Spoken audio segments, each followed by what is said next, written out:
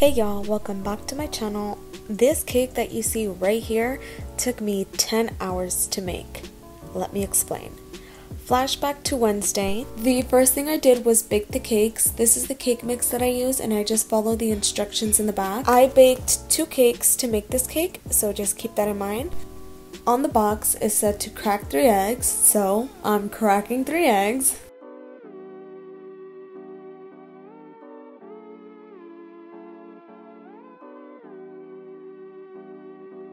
Then one cup of water. Instead of using vegetable oil, I used extra virgin olive oil. That was the only thing that I had and it still turned out delicious. And then I added the cake mix to the bowl.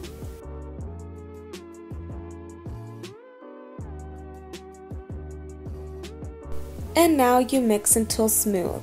Y'all, this hand mixer is 15 years old and it still works like it's brand new. Every time I take it out, it just brings really good memories from when I was younger because me and my mom, we would bake cakes all the time. My mom wouldn't really let us eat sugar, so this was like gold to us. Moving along, sprayed some spam.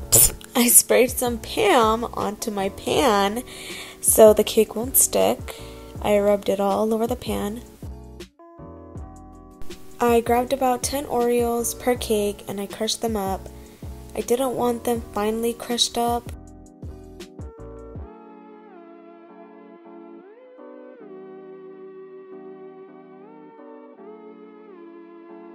I poured it into my cake batter and I mixed it. This cake was for my sister and apparently she said she wanted a confetti cake. Clearly what you're seeing here is not a confetti cake, it's an Oreo cake. I think I just forgot, or maybe I wasn't paying attention to what she was telling me. I had texted her though, and I told her that I would make her an Oreo cake, and she just replied with, okay, so I assumed it was okay. At the end, she loved the Oreo cake, so that's all that matters. I'm glad she enjoyed it. As you can see here, I used a circular pan. Girl, don't do it. If you're making a heart-shaped cake, use a heart-shaped pan. This is where everything went wrong because then you're gonna have to shape a circle into a heart and it may seem easy if you watch some videos, but no, it's hard. This was just my personal experience, but you do you. You do you. Don't forget to put the pans back in the oven. Then your mama's gonna start yelling at you. My cake was really sticking to the pan so I had to use a fork to loosen it up. This was my first time freezing a cake. Yes, girl, I froze a cake, and it was the best thing I have ever done. It saved me so much time. I was really scared that it would get stale, but no, it was as moist as ever. I wrapped it in saran wrap and I also wrapped it in foil. I put it in the freezer and I took it out on Friday. I let the cake defrost three hours before decorating the cake.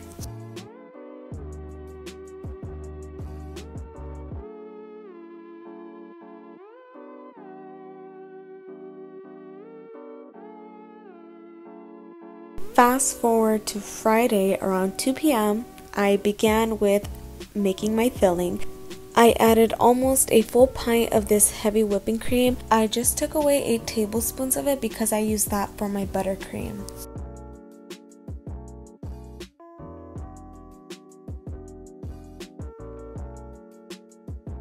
I added this cheesecake flavored jello pudding thing, whatever this is. I feel like if I added the Oreo flavored one, it would have tasted 10 times better. Instead of my handy dandy hand mixer, I switched over to this KitchenAid mixer with the wire whip attachment. The speed was at 4. I think this is about 1 tablespoon of vanilla extract. I don't know. I turned it back on and I felt like it was too thick. Very thick for my liking. I added milk to it, about, I don't know, three, four, five tablespoons. No, I think about three, right? Ugh, I should have measured it. But you get the point. And it made it more smoother. I was more happier with this consistency.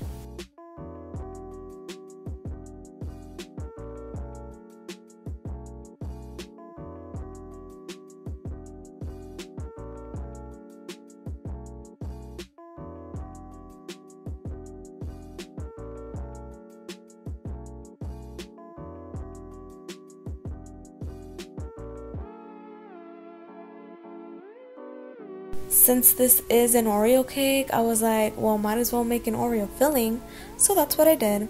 I crushed up about 15 Oreos, poured it into the filling. I used half of the crushed up Oreos and I mixed it all together.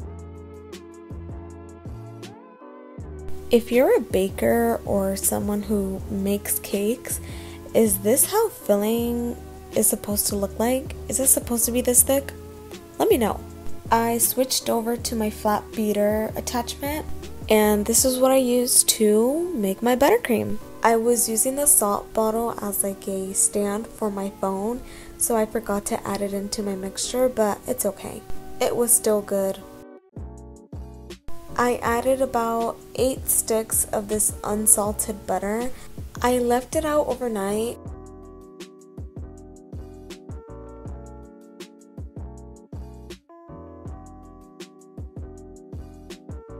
I left it mixing for about 10 minutes at the lowest speed. Throughout those 10 minutes, I checked up on it and stopped it about 3 times and I scraped all the edges and everything around.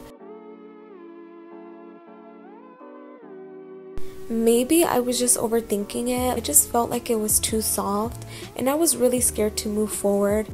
So I popped it in the fridge for about 5 minutes. After 5 minutes I felt more comfortable adding more stuff to it. You can't really tell the difference but you can definitely feel the difference. I used about one bag and half of another bag for my powdered sugar. I used a colander to make sure that there was no clumps. Fun fact, around 2021, I actually wanted to become a baker, but making this cake just reminded me why I stopped. This was stressful. Once I added all the powdered sugar, I mixed it with my spatula and then I mixed it with my KitchenAid at the lowest speed. Three minutes later, it became something like this.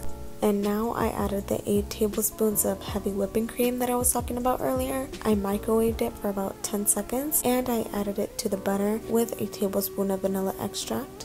When I used to make cakes, I never added the whipping cream. I noticed that it made it more fluffier. The recipe was good, I just felt like it was a little too soft for my liking. It was to the point where the buttercream was literally melting off the cake when I was doing a crumb coat. It was about 90 degrees this day, so that might have been the reason why. Who knows? This is how I make my simple syrup. It's super easy. All you need is a cup of water. You put it in the microwave for about a minute. Take it out. Put 5 tablespoons of sugar. It doesn't really matter how much. And you stir it around while it's still hot and you're done. I grabbed my piping bag and added some frosting to it. I decided to make the whole cake white with pink decor.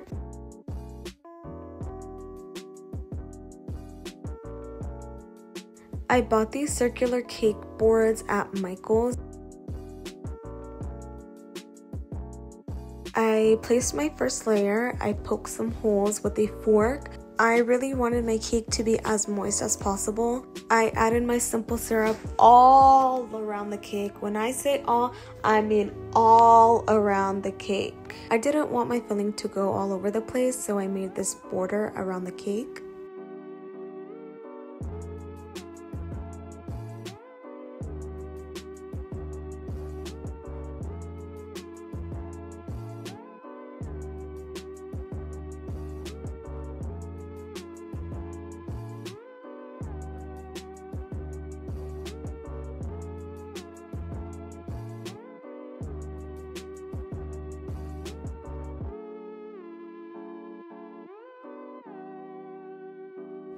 I put three big spoonfuls of the filling. I evenly mixed it all around.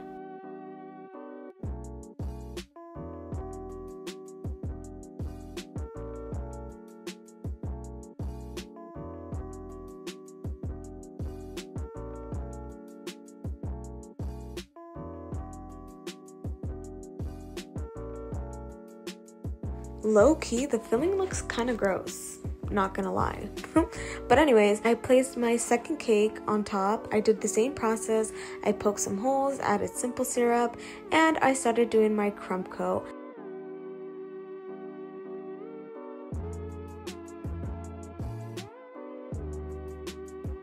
If you guys take a closer look at the frosting, you could kind of see it melting. This is exactly what I meant when I said that this frosting was too soft.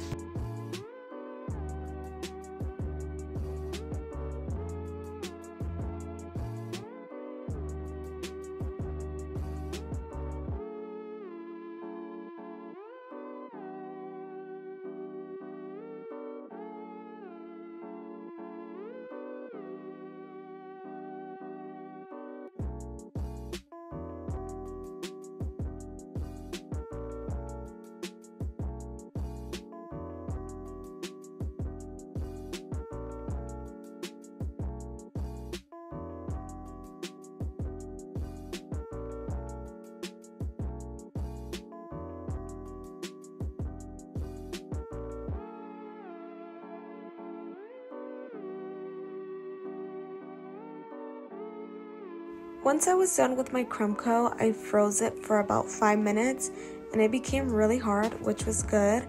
But here's where I was struggling the most. I tried to shape it into a heart. I searched the videos and a lot of people did it like this. Um, no, I will never do this method ever again. I tried my best to do another crumb coat, but it just didn't work out. So I decided to take those pieces that I cut off and just shape the cake into a heart myself. This is how she turned out. Clearly it's not the best. It looks kind of wonky. I did the job and that's all that matters. This is the piping tip that I use to fully cover my cake.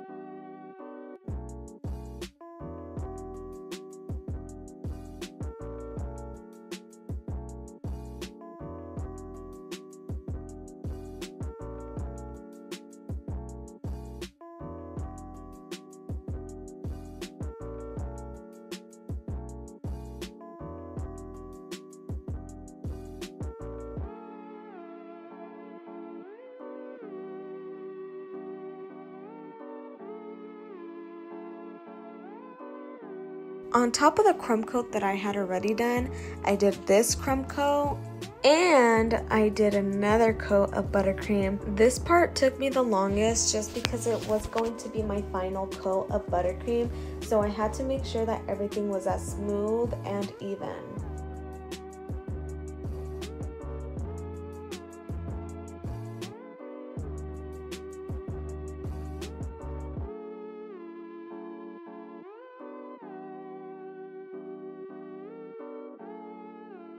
I was done with that and now it was time to decorate, which I was really nervous about, but I think I did pretty good. I used this tip to make ruffles around the cake. I added pink gel food coloring to my frosting to make this pink color. Honestly, I didn't like it, but I couldn't go back because I was running out of frosting.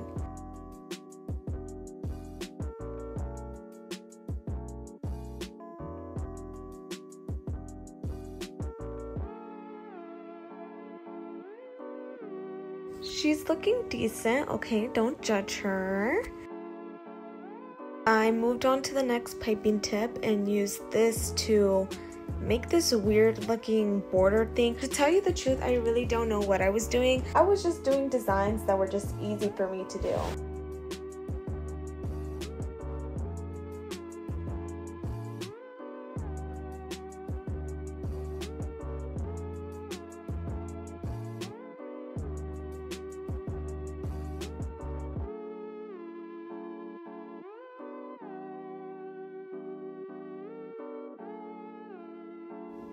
Mm-hmm. I did that. She was looking as good as me.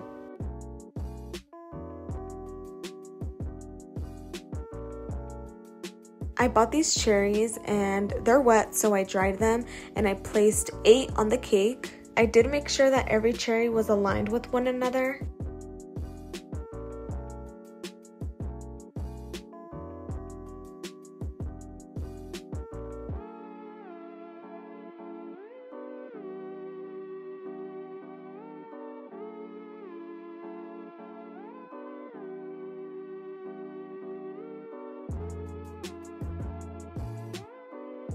Placed it in the fridge overnight.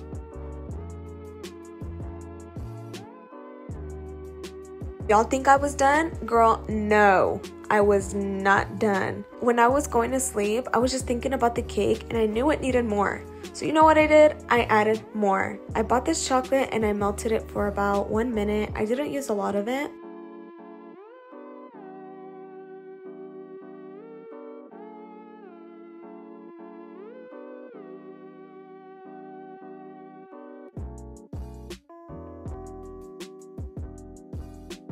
The gel food coloring that I've been using throughout my video. I matched the color of the chocolate to the pink frosting that I made. I asked my sister what exactly she wanted me to write or put on her cake. She said she didn't care so I just put happy birthday.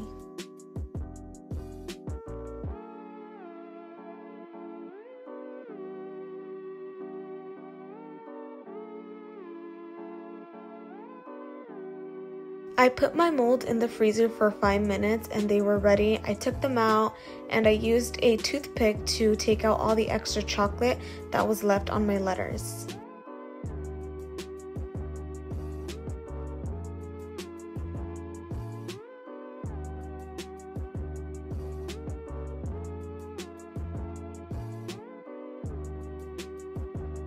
I placed the letters on the cake and pressed them down so they won't move around.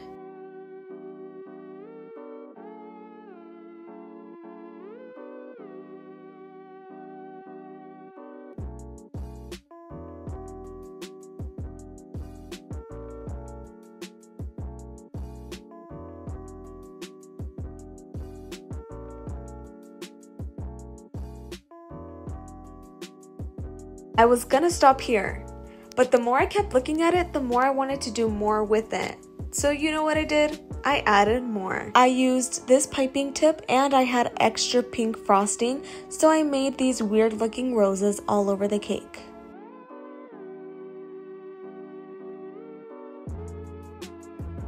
I made green frosting and I used this piping tip to pipe some leaves.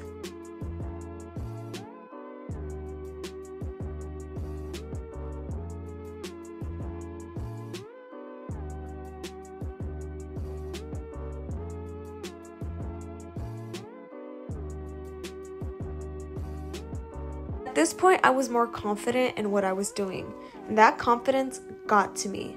So, you know what I did? I added more to the cake. Duh. I forgot that I had these chocolate molds. I decided to mold some flowers with the extra chocolate that I had.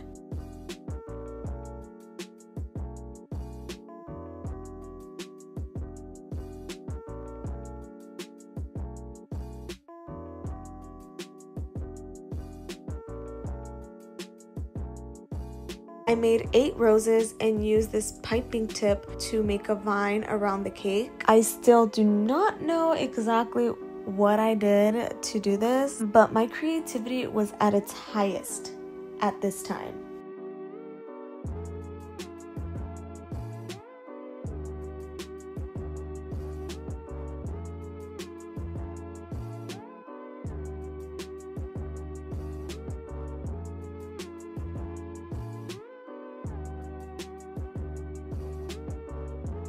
And then I placed the chocolate roses in between the cherries. Surprisingly, decorating the cake was so much more easier than assembling the cake. I thought it was gonna be the other way around. Clearly, I was wrong.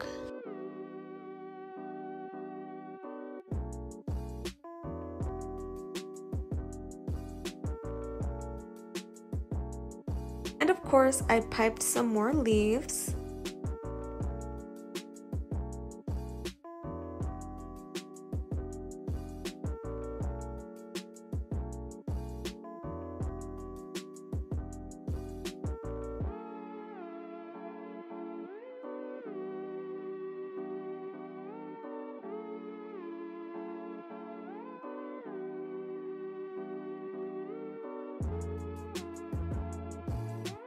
Just in case you were wondering, these are all the piping tips that I use throughout this video. I use some small ones and big ones, and this is the final result.